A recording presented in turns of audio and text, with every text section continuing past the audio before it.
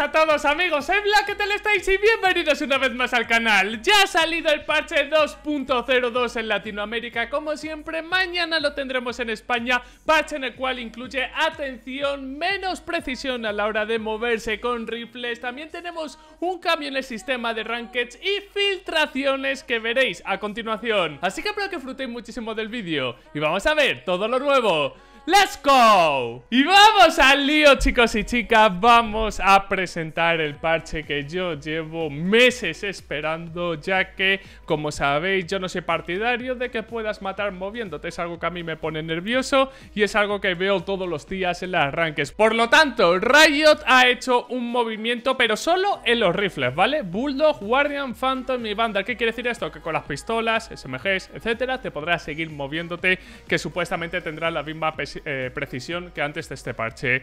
¿Qué es lo que han hecho con los rifles? Aumenta la reducción de precisión al disparar corriendo con todos los rifles, de 3,75 a 5. Por lo tanto, ahora es, hablando en números, un 25% más difícil dar a alguien en movimiento.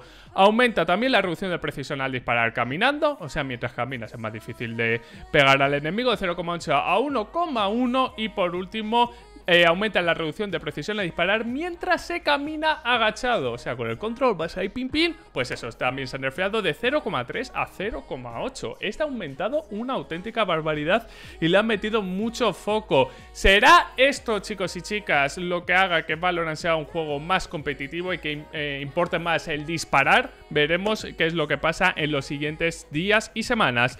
Luego tenemos eh, actualización del modo competitivo. os voy a poner en la descripción el, ¿cómo decirlo? El parche largo, yo voy a hacer un pequeño resumen porque de esto ya he hablado. Lo primero que dice es, aumenta la efectividad de la convergencia de puntuación de rango. ¿Qué quiere decir esto, chicos y chicas? Básicamente, que antes, por ejemplo, imagínate, en el acto pasado fuisteis Diamante 3 y en este acto estás atascado en Platino 3. Joder, que no puedo subir Black por mucho que juegue, muy bien que juegue, la gente es buenísima.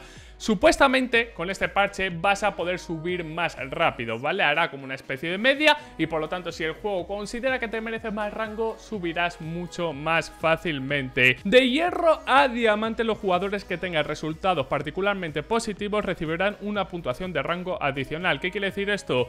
Que de, hierro a diamante, vuelvo a repetir, si tienes una muy buena partida, si lo haces mejor que las anteriores partidas o que tu media, vas a subir puntos más fácilmente y por lo tanto rango más fácilmente. Así que esto es bueno, ¿no? Evidentemente, si llevas una semana jugando y de repente estás que te sale, pues que subas más rápido es mucho mejor. Atención que esto da que discutir. Se ha limitado el tamaño máximo de los equipos prediseñados a Diamante 3 a dos jugadores. ¿Por qué han hecho esto?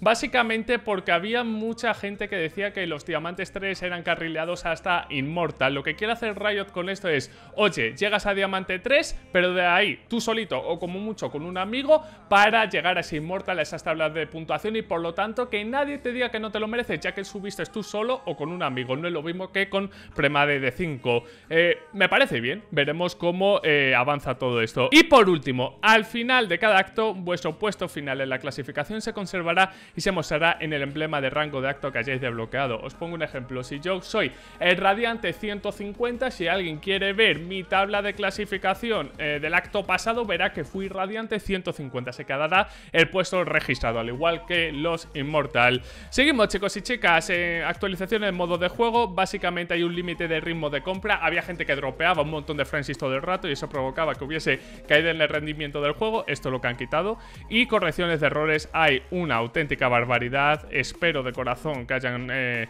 fixeado el TP de Omen. Aquí no lo veo, pero han corregido muchísimos errores y, aún les quedan, ¿eh? La verdad que Valorant no está en su mejor momento en cuanto a errores.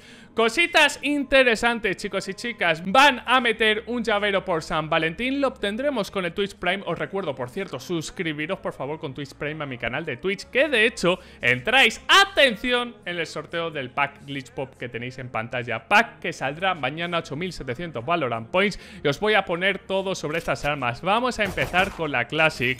Chavales, este es uno de mis packs favoritos. El problema, la de dinero que me voy a gastar en Radianita para subir las armas.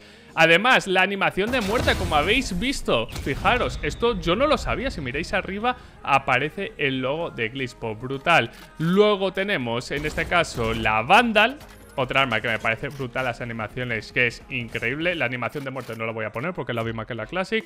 Luego tenemos esta Phantom, que de nuevo, brutal. Es que, es que, no sé, yo soy enamorado de este pack de skin. El primero tenía armas que eran una caca, pero es que este tiene todas. Porque fijaros en este pedazo de Operator. Pero voy a ser sinceros. Este Operator no es el arma que más me ha sorprendido por muy bestia que pinte. El arma que más me ha sorprendido es el cuchillo. Fijaros en este hacha, papá. Fijaros en esto.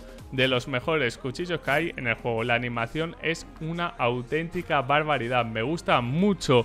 Por último, más cosillas que han salido. Han puesto música cuando spawneamos en un mapa, ¿vale? Cuando comienza la partida, ya se hacen, Vine, Split, etcétera, etcétera. Hay música diferente, así que nada, entrar en los mapas y escucharlo. Y por último, chicos y chicas, van a meter un nuevo sistema de audio que es el HRTF, que es básicamente audio que mejora la calidad 3D. Supuestamente está en Counter, os voy a ser sincero, nadie lo utiliza en Counter, eh, que yo conozca, ni nadie nadie competitivo. Dudo que aquí funcione, pero oye, están metiendo cosillas. Espero que se centren más en los fachos, sinceramente. Pero bueno, son cosas que añaden, ¿no? Así que nada, chavales, con esto me despido por el día de hoy. Espero de corazón que os haya gustado y que hayáis disfrutado del vídeo. Os recuerdo el pedazo de sorteo, simplemente es a la descripción para entrar en él, todo completamente gratis.